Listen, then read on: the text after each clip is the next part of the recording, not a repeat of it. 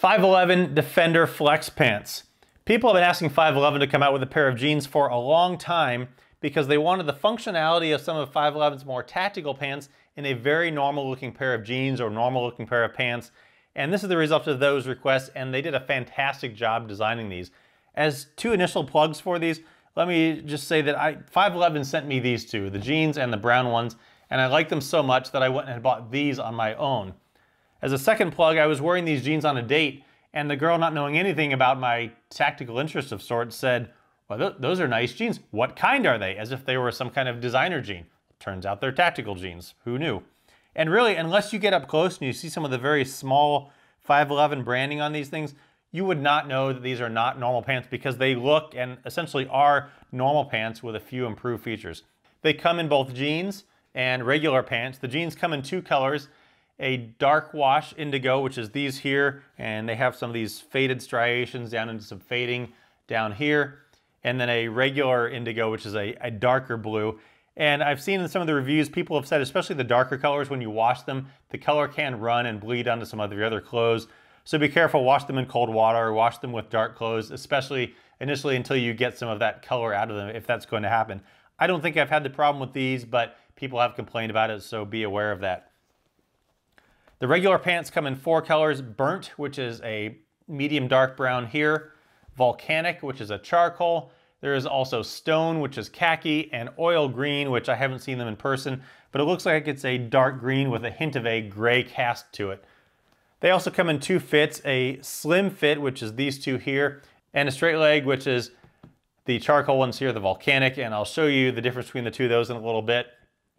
Price-wise, they are all the exact same, no matter the jean or the pant or whatever size or style you want. They are all $69.99. Sizes, the waist come in a 28 to 44, the length comes in a 30 to 36 length, and of note with 511 length sizing, the waist is pretty true to size. These are all 32 30s. I wear 32s in all the pants that I get, and these are true to size on the waist. 511 pants, though, seem to run short. I have a about a 30 inch inseam, and after washing these a couple times, they are now 29 inch inseams, and that seems to be true with all of my 511 pants. Some of my brands of tactical pants run a little bit long. 511s for me always traditionally run a little bit short by about an inch or so, so just be aware of that if you're kind of on the border. Get them a little bit longer than shorter because you can shorten them, but you can't really add length to them. Fabric on them, the jeans are a 10 ounce mechanical stretch denim, 76% cotton, 24% polyester with some Lycra T400 Tough Max, if that means anything to you.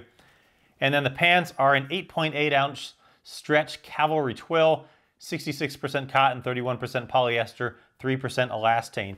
And they both have stretch to them, both horizontally and vertically, although I think it's more horizontal. Same with the pants.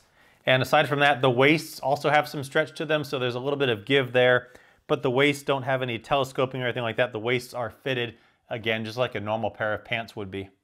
Now, because the pants are all designed exactly the same as far as the pocket layout, other than them being either slim fit or straight leg, I'm going to use the jeans to show you how they're designed.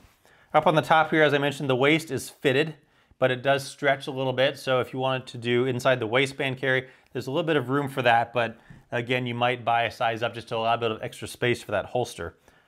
Belt loops, there are four in the front and four in the back, and these are two inch belt loops, so they'll hold a nice wide belt. And if you have a Cobra buckle, it might even fit that through there without you having to undo the whole thing.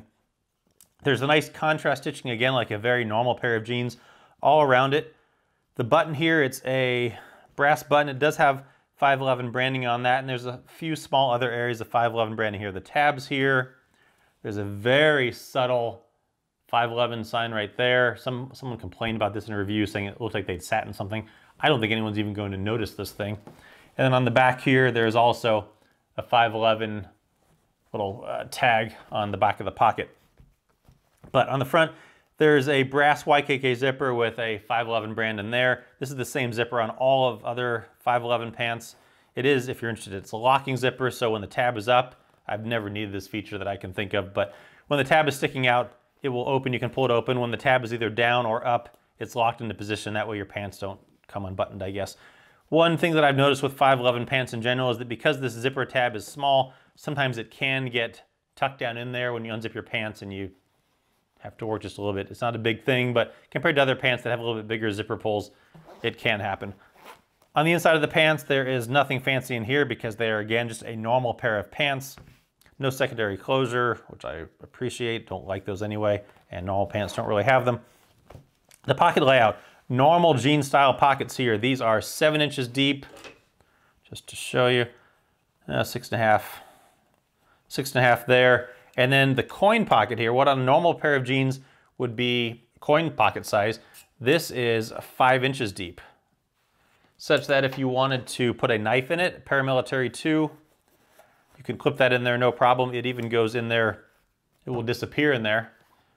If you wanted to put a magazine, this is an M&P compact magazine, that will fully disappear down in there. I mean, and you can put any number of things in there. But if you put something longer in there, because this is right where your legs are going to bend, this may run into your hips, the anterior part of your hip, and could cause, impede a little bit of movement there, so just be aware of that. But otherwise, that's a nice feature there.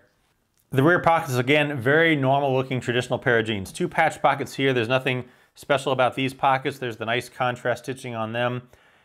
There's the four belt loops back here, but one of the features of the back, the extra pockets on these, is hidden on this yoke seam right here, and it is right here, and there's one on each side. And these pockets, yeah, I suppose if you want, you could put an AR magazine in them, 30 round magazine. I don't really carry one of those for the most part. For me, what I typically put in them is my cell phone, Galaxy S8 Plus, and it fits down in there with a little bit of room to spare. And if you have a, a shirt that's untucked, it's going to cover this. No one's going to know it's there. Same with a magazine for that matter. Depth-wise of these pockets, they are just shy of six inches, right about six inches. And width of them, six inches by about three and a quarter or so. So I, I, initially I was concerned about these before I put these pants on. I thought, well, if I have my cell phone back there, am I going to be sitting on it? I was concerned about that, but they work surprisingly well. I can sit down because it's kind of up and off to the side enough. You don't sit on them. And it's not a problem at all. They're super comfortable, very easy access to getting things in and out of. Not a problem at all. Love that feature in the placement of those pockets. Moving down the front, there's no gusseting to the crotch because generally normal pants don't have a gusseted crotch. And then the bottom of them is just a regular bottom to a pair of jeans. There's nothing fancy in there, no handcuff key pockets or anything like that. Just standard bottoms there. If need be, you could shorten these, you could hem them and just get some matching thread or if you don't want to do that, just put some navy thread down there. Now let me show you the difference between the slim fit and the straight leg.